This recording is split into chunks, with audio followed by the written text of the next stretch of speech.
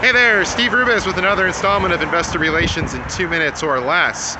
If you're an executive who wants to optimize your tenure and stock price, as well as your social and ESG initiatives, you do well to hire the best investor relations professional you can. And that's why I stand here today in front of Johnny's Italian Beef at the corners of North and 75th Avenue in Elmwood Park. If you want the best beef sandwich in Chicago, you come here. And that's what's important for, for executives to understand is that if you want to optimize the things that benefit you and your investors most, you need to hire the best investor relations professional. For some, it's hiring an ESG person. For others, it's a corporate communications person. For others, it's going to be an internal FP&A guy or gal. And in my view, the money is best spent on someone who has a sell side or investor related background.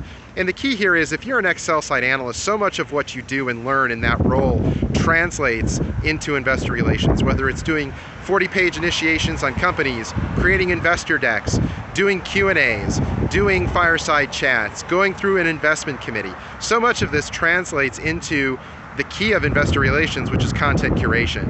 If you've done any of those things well or spent the time to learn how you learn your craft and do those things, the content curation you're going to provide for your executive team and company is going to be incredible.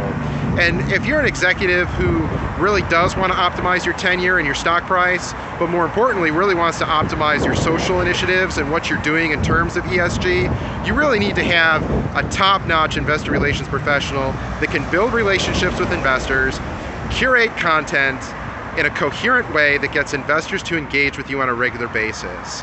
Remember, this is all about helping investors understand why you and your management team are the right people to run your business on a day-to-day basis. You need someone who can do that daily and do that in a way that investors get excited about. When it comes to investor relations, I lived it, so you don't have to. Thanks for watching.